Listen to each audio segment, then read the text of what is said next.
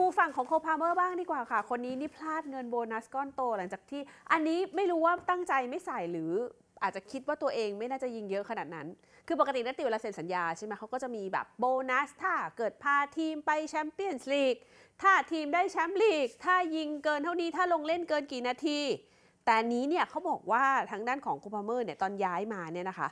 เซ็นสัญญาระยะเอ่อยาว 7 ปี ค่าเหนื่อย 80,000 ปอนด์ต่อสัปดาห์ แต่ตอนนั้นน่ะไม่ได้เพิ่มเงื่อนไขการยิงประตู โบนัสการทำประตูเนี่ยไม่ได้ใส่ลงไป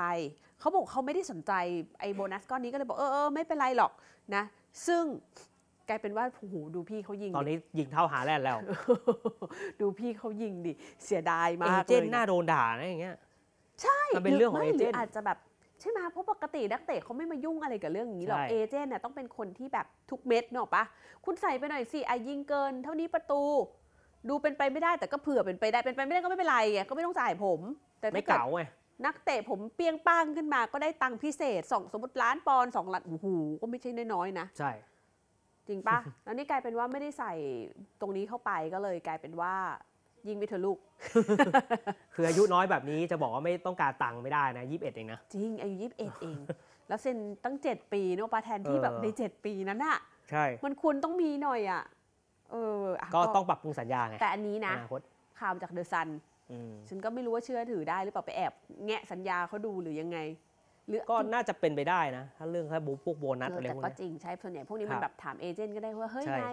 มีโบนัสเปล่าครับเอเจนต์อาจจะบอกว่า อ๋อ ไม่ได้ใส่ ลืมใส่ลืมใส่ ไม่ได้คิดว่าจะยิงขนาดนี้ แต่ก็อย่างว่าแหละมันก็เกินคาดจริงๆอะกับการที่ใช่แบบโคพาเมอร์ตอนแรกมาใช่ไหมอืมแล้วก็มีคนบอกเฮ้ยโหคุณใจร้อน แรก ๆ มายังมีคนแฟนแมนซิตี้ด่าอยู่เลยว่าแบบอืมใจร้อน จะมีใครฆ่าตัวตายออกจากเป๊ปโอ้โหใช่แต่มันเด็กมัน เด็กมันถึงไงจริงเด็กขอมันงมีเขความดีรู้สึกว่าฉันพร้อมลงอะของเขาดีฉันไม่ขงอยากดีรอฟิลโฟเดนอะใช่เออแล้วก็ดูติดทีมชาติอังกฤษชัวร์ค่ะๆแต่ในมุมผมนะ ผมว่าโคพาเมอร์กับฟิลโฟเดนเนี่ยจะเล่นกันยังไงก่อนในยูโรอะอืมเขาประทับตำแหน่ทังบกันตำแหนะน่งกันอืมใช่นั่นดินะครับอะเดี๋ยวดูมาดูกันต่อที่ทางด้านของทางด้านฮอสเปอร์กันบ้างค่ะ หลังจากที่เอาแวกเนอร์ยืมตัวไปอืมนะแต่ทีเนี้ยเริ่มติดใจอยากยืมต่อคือ เอ้าเขาก็มีสัญญาซื้อขาดนี่เงื่อนไขซื้อขาด 15 15 ล้านปอนด์จะซื้อก็15เสียดายตังค์10 15.5 ล้านปอนด์ครับ แต่ล่าสุดเนี่ยเหมือนสเปอร์ก็บอกว่าเออ ก็ขยายสัญญายืมตัวได้เปล่าโอ้ขออีกสักอังฤเก้ดูชอบกาลหนึ่งซัมเมอร์นี้ยังไม่ซื้อขาดขอยืมตัวก่อนอืมเดี๋ยวต้องรอดูนะว่าทางทางไลป์ซิกจะว่ายังไง ครับ